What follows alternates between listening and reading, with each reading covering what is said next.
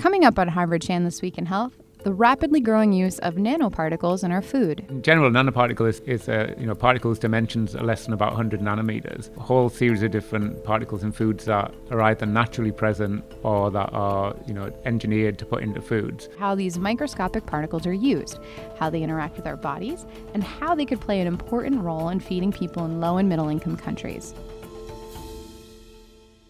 Hello and welcome to Harvard Chan This Week in Health. It's Thursday, March 16th, 2017. I'm Amy Montemuro. And I'm Noah Levitt.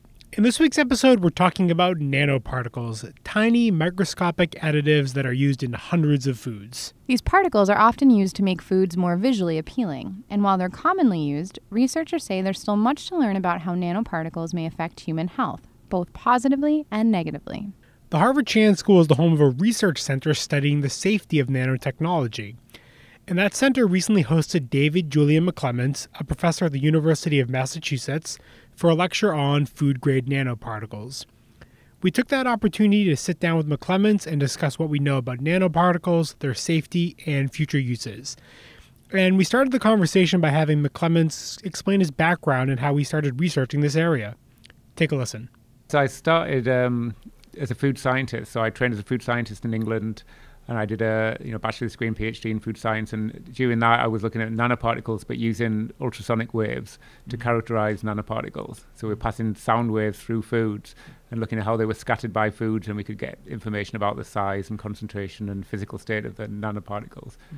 And then I moved to America and did uh, some postdoc there and worked on um, different types of colloidal systems, which are kind of nanoparticle. Mm.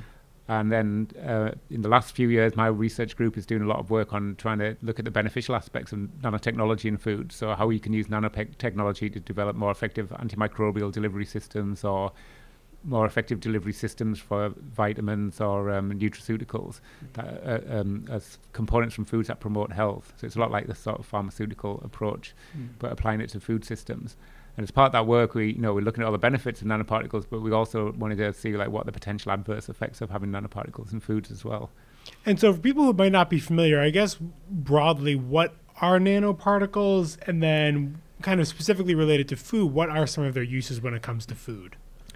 Yeah, so in general, nanoparticle is is, is uh, you know particles dimensions are less than about 100 nanometers, there's a whole series of different particles in foods that are either naturally present or that are, you know, engineered to put into foods. So some of the naturally present ones are something like casein micelles, which are part of milk. So the um, you know evolution has designed these particles to sort of uh, feed infants and you know help them grow quickly. So you have got easily digestible protein and phosphate and calcium in these little nanoparticles that the you know the the infant can digest very rapidly um, and and grow quickly.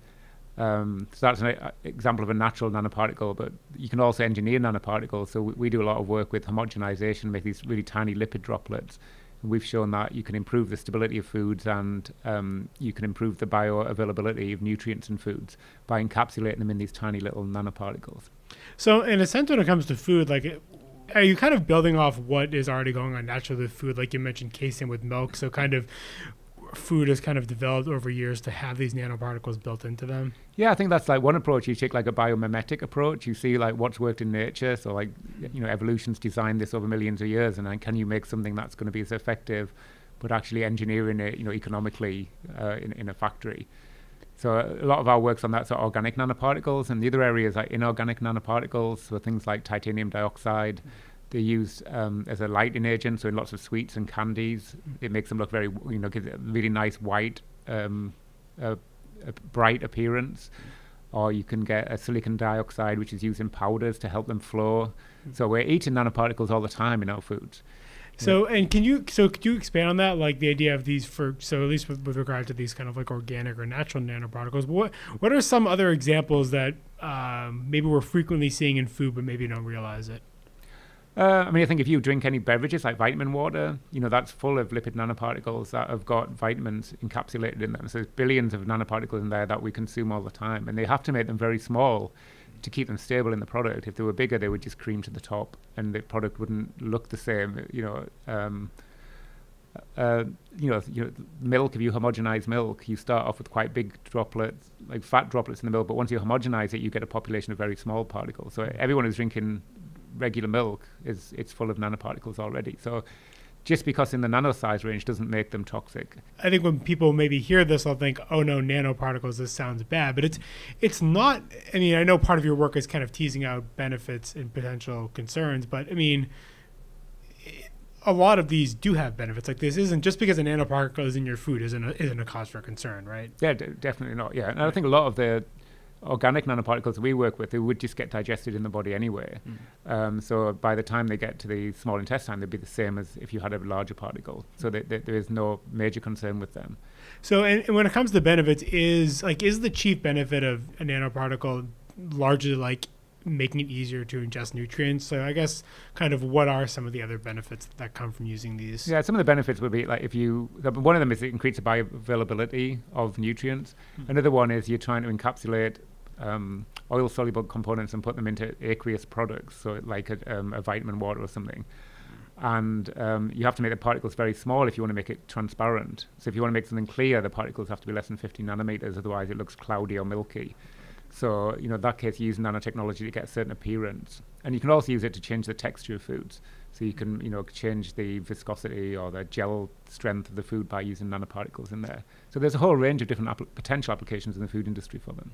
And so you, you, you mentioned a second ago that, I mean, the way that a lot of these work, that when it gets into your body and it's digested, it's almost, you, you're, I mean, essentially your body won't know the difference. So, so do, so what do we know kind of about the mechanism of how like, a nanoparticle goes from our food, digested into our body, and then our body uses it. So what do we know about that mechanism? Yeah, so that's a my whole research area is on that area at the moment. It's like trying to look what's happening in the mouth, the stomach, and the small intestine, and how that changes the, the structure and the characteristics of the particles, and how they get broken down in the body, and then how the nutrients and get and the nanoparticles get absorbed by the body.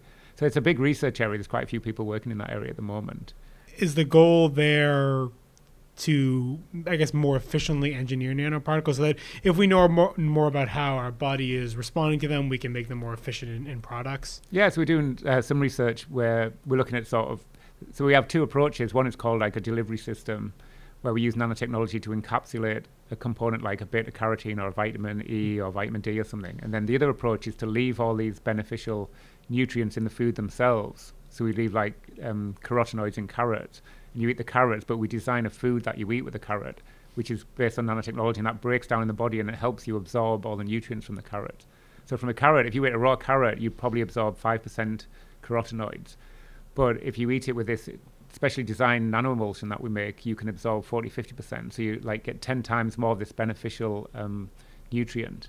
And that could be important for things like eye health. There's this comp- carotenoid called lutein, which is really important for eye health. It stops mm-hmm. macular degeneration.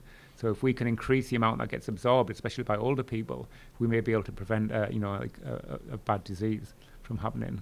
And I guess what are some of the, the future applications? Because I, I, guess the, one of the things that popped in my head is maybe creating more nutrient dense foods, for example, because I think of this in the context of climate change and concerns over crops and crop growth. So is that maybe a potential application down the line? Yeah, I mean, I mean, one of the things we've been thinking of is like, you know, in the developing world, you know, that mm-hmm. you, you can put nutrients in foods but if they don't get actually absorbed by the person who's consuming them, then you're wasting that nutrient. So this is a way of increasing the amount of nutrients, but actually increasing the percentage that gets absorbed by the body. So you make them actually more potentially health, you know, have more health benefits. So you could basically just create like a, an incredibly like nutrient dense food. Yeah. So nutrient. So you can have a nutrient dense food, but the nutrients don't get absorbed it doesn't, you know, it, it's no use. So you have to have a nutrient dense and it gets absorbed by the body. So what we're trying to do is design foods that can do both of those. You mm. increase the amount of nutrients present, make them stable in the food, but if they also get more of them absorbed by the body.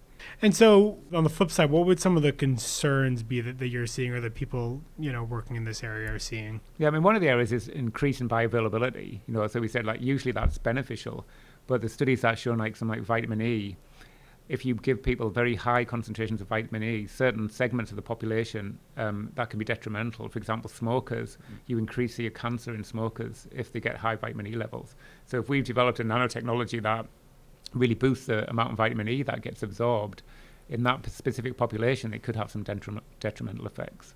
Mm-hmm. Um, the other possibility would be, you know, we design these we call excipient nanoemulsions to increase the bioavailability of the good the good nutrients in foods.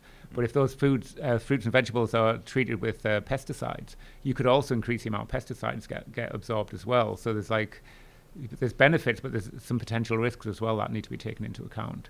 Um, and so you mentioned pesticides, and obviously there's a lot of when it comes to food. I think one of one of the kind of recurring hot topics is GMOs and genetic modification. Are there is there any are there any concerns about interplay between nanoparticles and genetically modified food? Is that a concern at all, or is there any link there? Not really. I mean, I think there's a, you've seen a similar trend, especially in Europe, where there's a real anti-GMO movement, but there's mm-hmm. also a really anti-nano movement as well in in Europe, and I think that's made a lot of food companies very reluctant to sort of adopt nanotechnology or at least admit that they're adopting nanotechnology, you know, in in their food products. Why has there been that kind of like anti-nano movement? I think people are just scared of new technology, you know, and I think maybe I'm not sure to be honest. I mean, I think um, there is some potential for risk. Um, but I think at the moment there's not enough evidence to really say like which type of nanoparticles could be um, cause adverse health effects and which ones don't have a, a, an effect. There's lots and lots of research out there, but there's a lot of conflicting evidence, and people are not using realistic systems to test them. They're using levels that are much higher than you would ever consume and showing that you have toxic effects. But in reality, nobody would ever consume that um, that amount. And so when we talked, to kind of going back to the beginning, you talked about you know some maybe some of the more inorganic nanoparticles that might be used like food coloring or candies. Um, are there kind of separate concerns around those? Yeah, and I think um, probably inorganic nanoparticles have got much more potential for toxic effects than, than the organic nanoparticles, mm-hmm. and particularly you know thing, things like you know, nitrous oxide, nitric oxide ones and um, silver ones. Mm-hmm. Uh, they're more likely because they can cause they're, they're, more chemically reactive. So if they got if they did get into your cells, they've got more likely to cause damage when they get in there. And so, if so, like kind of jumping off of that, like if you are a consumer, are there things that you would want to look for in products that maybe you would want to avoid, or just kind of you know looking looking in the ingredient label? Um, I mean, again, I think at the levels that most nanoparticles in there, there's probably not a major concern. I mean, I think I wouldn't eat products with like silver nanoparticles in there. I mean, I think they're very. Uh, I mean, people do it. They eat this uh, colloidal silver, and I think there's a famous guy who's the Smurf man who's turned blue from taking a overdoses of uh, colloidal silver. Um, but you know that could you know silver is a very effective antimicrobial, and it, if it gets through your body and goes into your colon, it could really change your um, microbiota, which could have some you know health effects. We don't know whether they're good or bad. So that you know there are some concerns.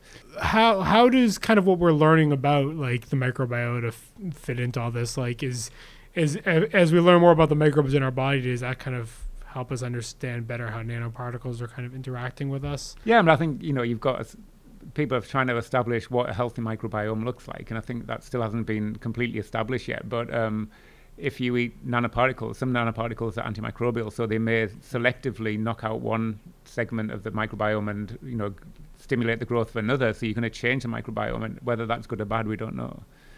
And what I guess, kind of like looking forward, what are maybe one or just some of the kind of biggest unanswered questions that, that you still have or that researchers in the field still have?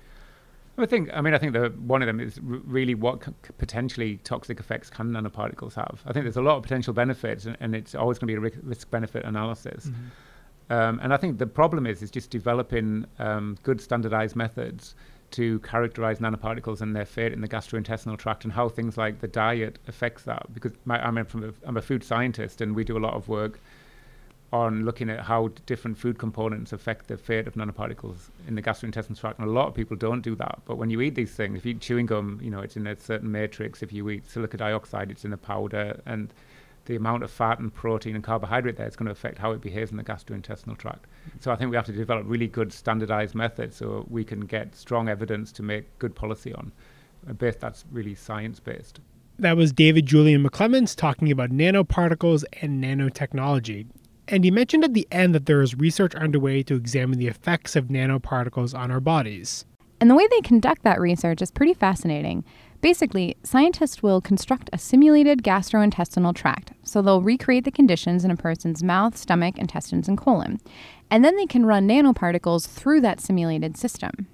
They combine that research with animal studies where they're actually able to use live imaging to see how nanoparticles travel through mice and rats and to see where those particles end up in the body after they've been ingested. If you want to read more about McClements' work or to watch his full presentation, just visit our website, hsph.me slash thisweekinhealth. And coming up in next week's episode, we'll be focusing on opioid abuse in America. We'll talk to the author of a new study which is shedding light on how doctors' varied prescribing habits may be fueling the country's opioid epidemic.